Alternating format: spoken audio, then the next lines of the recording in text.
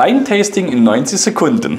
Heute stelle ich euch den Wast vor vom Weingut Davino, so einem der besten Weingüter Rumäniens. Ähm, er, nennt, er nennt sich nicht Davino, weil Ceptura die Weinlage und äh, er hat einen schönen Trinkwein für uns, einen, einen Winzerwein gemacht, sage ich jetzt mal, Cabernet Sauvignon mit schwarzer Mädchentraube und Merlot.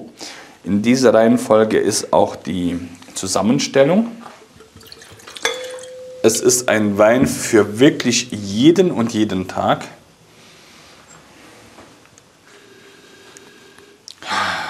Herrlich, herrlich. Den kannst du wirklich trinken. Das ist ein ganz, ganz schlichtes Etikett, aber genau so stellt sich der Wein vor. Er soll für jeden Tag sein. Es sollte nichts Besonderes sein, aber es sollte, es sollte was darstellen.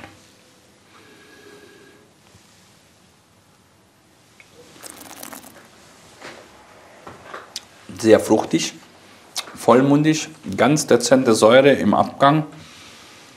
Und dazu würde ich jetzt persönlich, also wenn ich die Wahl hätte, auch was dazu zu kochen, ich würde, muss ganz ehrlich gestehen,